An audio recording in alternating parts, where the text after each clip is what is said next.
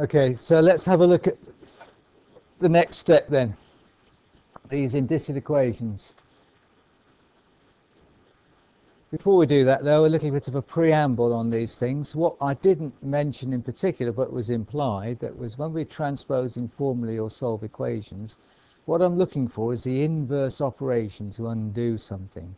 So, for example, if something was added, then how do I get rid of it? The inverse operation would be to subtract it.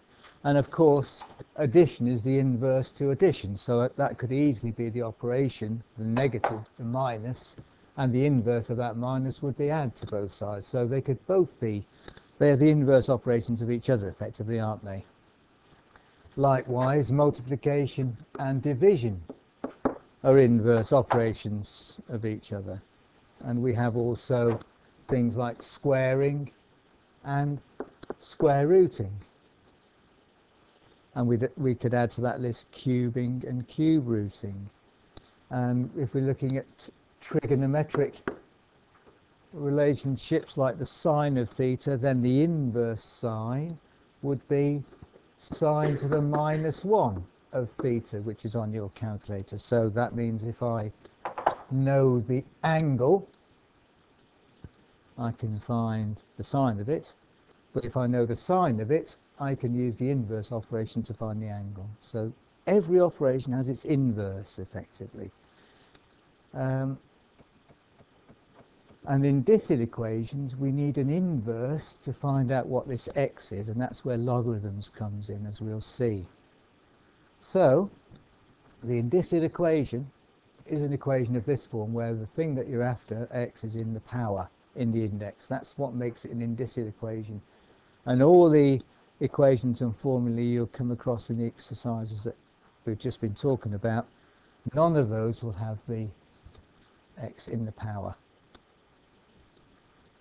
So if an equation involves a power where x is either in the base or the index, so this is the base of the number, that's the base and that's the power, the index. We've got what's called an indicial equation and we solve it by using logarithms, usually to the base 10. So let's define these things, these logarithms. The logarithm to the base 10 of a number is the power to which I have to raise 10 to get that number. That's a statement that is worth reading more than once and often to understand it best to just look at an example on your calculators, you've got a log button, L-O-G for log. If you type into your calculator log of, and then a thousand equals, what do you get? Three. Now look at this statement again. The logarithm of a number, in this case to base 10, is a number to which I have to raise 10 to get 3. What is the power to which I have to raise this base 10 to get 1,000? 3. That's effectively what a logarithm is. So if I find a logarithm of a number, what I'm finding is a number that I have to raise the base to, usually 10, to get a number. It's a bit like tortuous. What's log the base 10 of 98 on your calculator.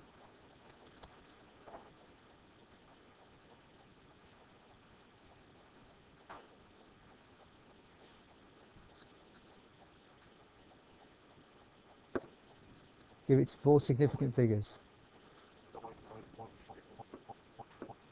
1.9912. Yeah. So four significant figures. I was expecting a number nearly 2. Why? Because two, 10 squared is 100. 10 to the power 2 is 100, and this is nearly 100. So this number is the power to which I have to raise 10 to get 100. And if you look at your button on the calculator and above it, you'll see 10 to the power. So that's like the opposite. So what is 10 to the power 1.991 if you do that, so shift log to get the 10 to the power 1.991, you'll get, nearest damn it, 98. Right. So yeah, it wasn't, it won't be exact because you rounded it, yeah. If you got the log and you'd left that number in your calculator and then hit 10 to the power that answer, you'd have got exactly 98. You just rounded it, haven't you? So. So that's what the logarithms do. They, in, they invert the power in a way. What if I want to know what is the number? So if 10 to the what equals 98 is my problem, then I've solved it. I've used logarithms to solve it. How do I find out what x is in this equation, I find the logarithm of 98 and that'll tell me the power to which I've got to raise 10 to get 98. So logarithms come into it. So we can think of the logarithm like an inverse, uh, inverse function, i.e. if 10 to the power x equals 36, that's our indicial equation, then how do we solve it? The log to the base 10 of 36 equals x. If I just write log on its own, that means to the base 10. So like when we square root, we never put the little 2 outside the square root sign. So if I write this, what's implied is a little 2 there, as we were discussing the other day. In the same way, if somebody just writes log of a number like log 36, what's missing is 10. It's implied that there's a 10 there.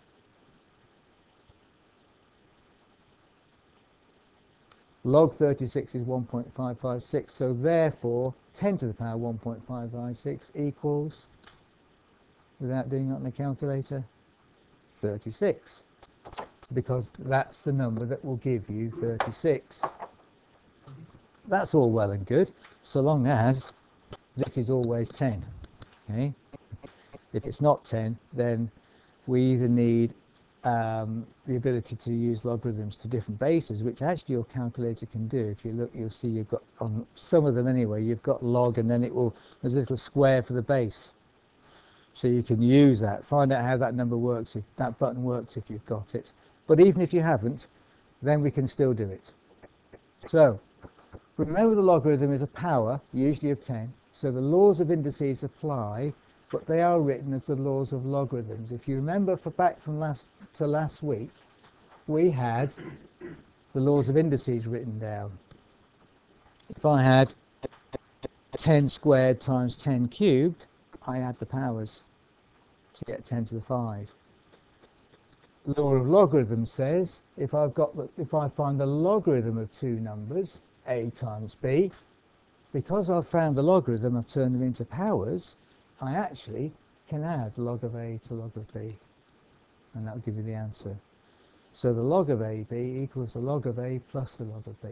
Division, subtract the powers, so similarly the log of a divided by b is log a minus log b.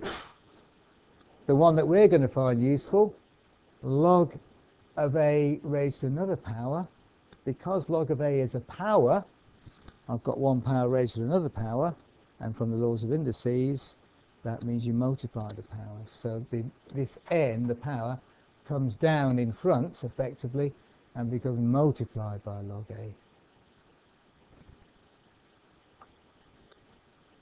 The laws of indices say that anything to the power 0 is 1, so the log of 1 is 0.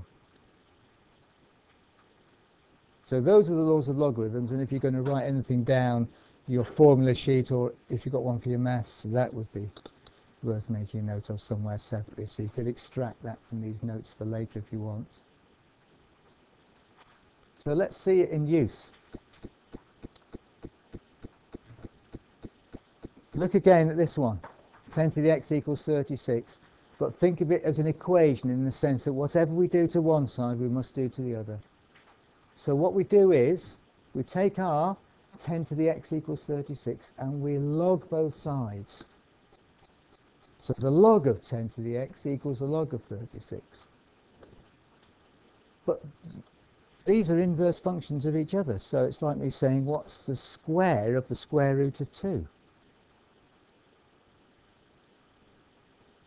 What's the square of the square root of 2? 2. Square and the square root are inverse, aren't they? So they cancel each other out, those operations, effectively. What's 36 times 5 divided by 5? 36. Okay? So if I do inverse operations, they effectively cancel each other out. Log to the base 10 of 10 to the x is x. So x equals log 36, and that's what we did before. But that's it written in equation form. What have I done? I've taken my 10 to the x equals 36 and found the logarithm of both sides. So it's like the equation thing with the balance. Whatever I do to one side, I must do to the other, and it works. That's what effectively you're doing. So let's apply that to a different example. Now we've not got the base 3.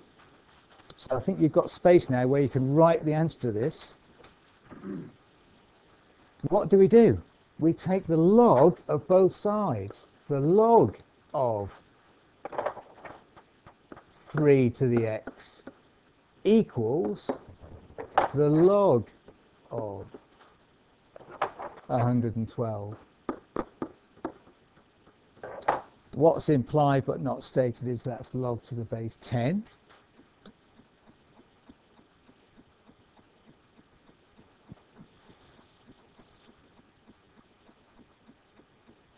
Now I use one of these laws of logarithms. This one, the starred one, that's probably the most useful one. Because I've turned my left-hand side into a power, log of A, to another power, that power can come down and go in front of, or behind and be multiplied. So in other words, I can go to this now and bring my x here down in front of the log 3. So I can write x times the logarithm of 3 equals the logarithm of 112.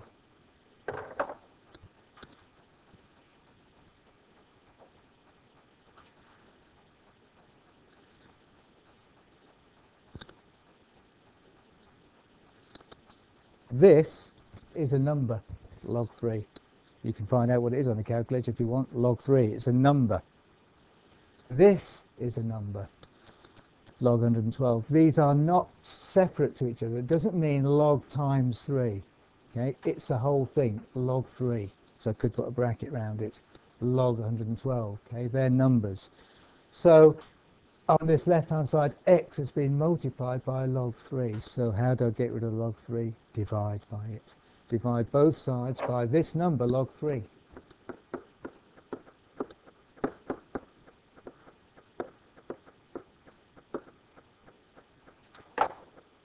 And now I do that on the calculator. If you've got the fraction button on your calculator, I suggest you use that. You'll see that fraction button, put log 112 on top, log 3 underneath, x equals.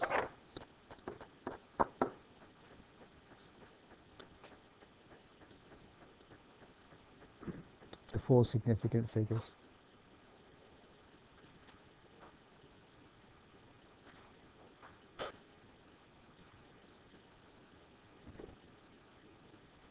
What you got, Kieran? Log 112 over log 3. Did you? Oh, right, yeah, it expects you to close the brackets, yeah. 4.29, exactly, or? Right. Because it's a power, it's, in, it's important to hang on to some significance.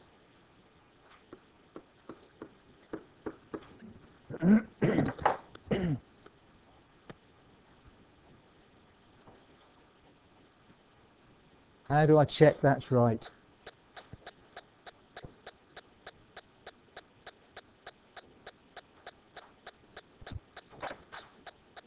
How do I check that's right? Yeah, put it back into the original equation.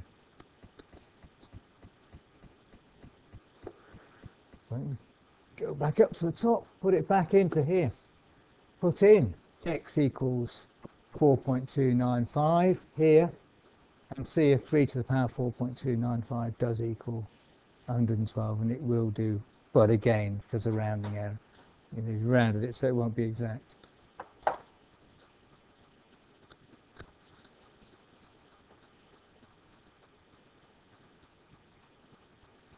so what is this logarithm? It, it's something it's a power. It's a power of a base usually base 10 how do we use it? We use it to solve implicit equations. Where the unknown is in the power or actually is in the base.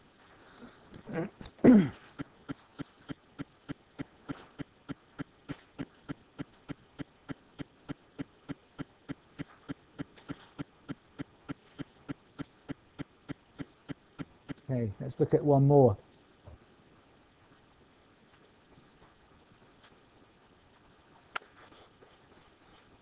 Right, you're going to tell me what to do on this one. First thing.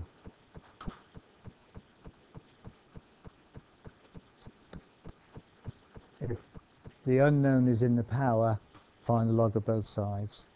Which means you can then use this law here to bring, whoops, um, this law here to bring that power down, whatever it is in the power, and in this case that will be um, x plus 2 down and becomes a multiplier then. And then we can solve the equation using the normal methods of solving the equation. So I'll just pause this for a minute while you have a go and then we'll look at it together.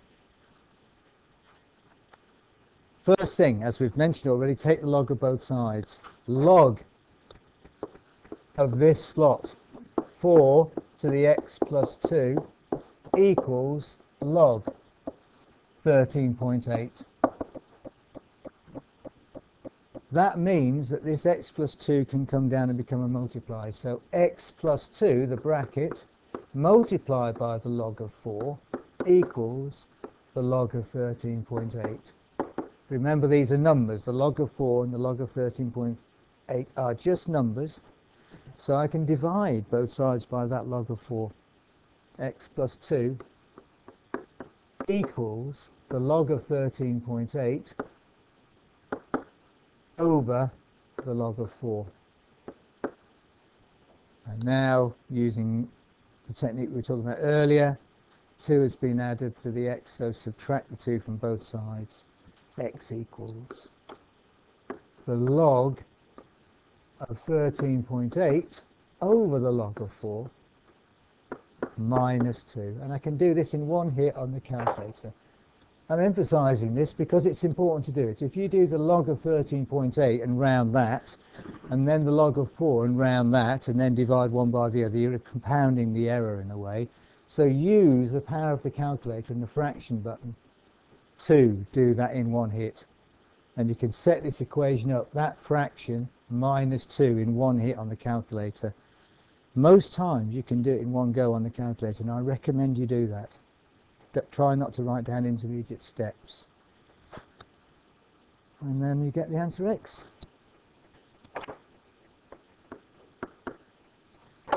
And what does it come out to be? Minus 0.107, did you say? Agreement? So I'll take that as nods around the room that, yeah, that's okay. But how can we check? Yeah. So to be sure, of course, if this was an engineering scenario and you were going to use this number in a further calculation, it was important that you got it right, you can check. Often you can check. Put it back into the original formula. Does 4 to the power um, minus 0.107 plus 2 equal 13.8 and I can literally write that into my calculator. I'd probably put the 2 first 4 to the power brackets 2 minus 0.107 equals hopefully it'll be about 13.8 and then I know I'd got it right okay again there are more.